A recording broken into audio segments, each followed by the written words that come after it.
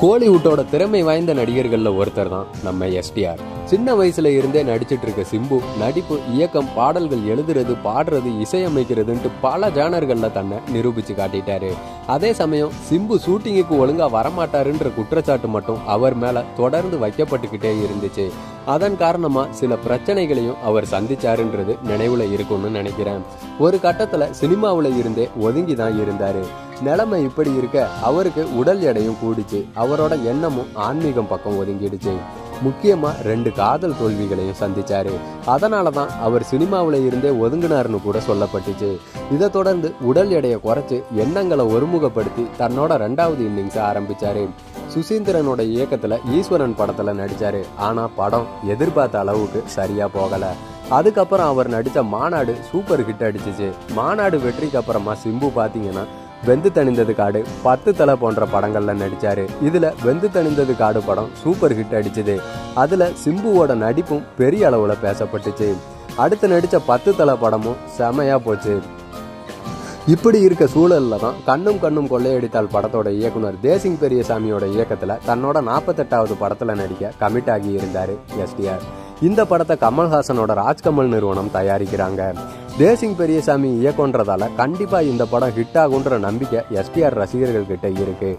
இந்த படத்துக்காக சிம்பு செம ஃபிட்னஸோட இருக்காரு. அது மட்டும் இல்லாம மார்ஷியல் ஆர்ட்ஸ் உள்ளிட்ட கலைகளையும் அவர் கத்துக்கிட்டதா தெரியுது.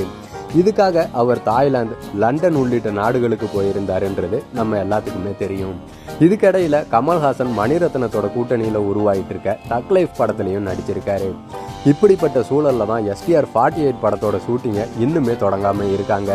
இதனால் ரசிகர்களும் செம அப்செட்டில் இருக்காங்க. ஆனால் வரலாற்று ஜானலில் படம் உருவாவதால் படத்தை தரமாக உருவாக்குறதுக்கு தேசிங் பெரியசாமி கொஞ்சம் டைம் எடுத்திருக்கிறாரு அப்படின்ட்டு கோலிவுட்டில் பேச்சுக்கள்லாம் போய்கிட்டு இருக்கு.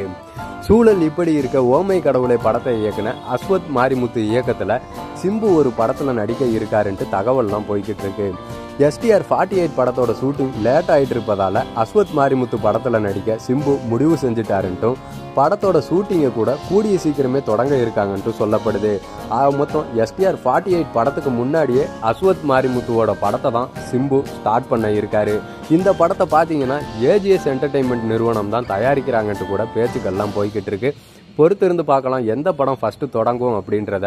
ஆல்ரெடி பார்த்தீங்கன்னா சுதா கொங்காராவோட இயக்கத்துலையும் சிம்பு ஒரு படத்தில் நடிக்கிறதா இருந்தார்.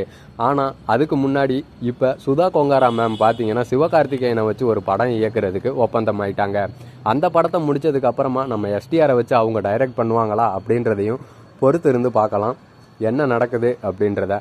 இடையில இன்னொரு தகவல் அதை யாருமே மறந்துருக்க மாட்டீங்க. ஜூட் ஆண்டனி ஜோசப்போட இயக்கத்தில் சிம்பு ஒரு படத்தில் நடிக்கிறதா இருந்துச்சு. அதுக்கப்புறம் அந்த படத்தில் ரஜினிகாந்த் கமிட் ஆயிட்டாருன்ற மாதிரி ஒரு தகவல் போச்சு. இப்போ சிம்பு ரஜினிகாந்த் ரெண்டு பேருமே சேர்ந்து அந்த படத்தில் நடிக்கிறாங்கன்ற மாதிரி ஒரு தகவல் வந்துட்டு இருக்கு ஆக மொத்தம் சிம்புவோட சினிஃபீல்டில் எந்த படத்தில் முதல்ல நடிப்பாரு அப்படின்றது நமக்கே புரியாத ஒரு புதிராக தான் இருக்கு. பொறுத்து இருந்து பார்க்கலாம் எந்த படத்தோட ஷூட்டிங் முதல்ல தொடங்குதுன்றத.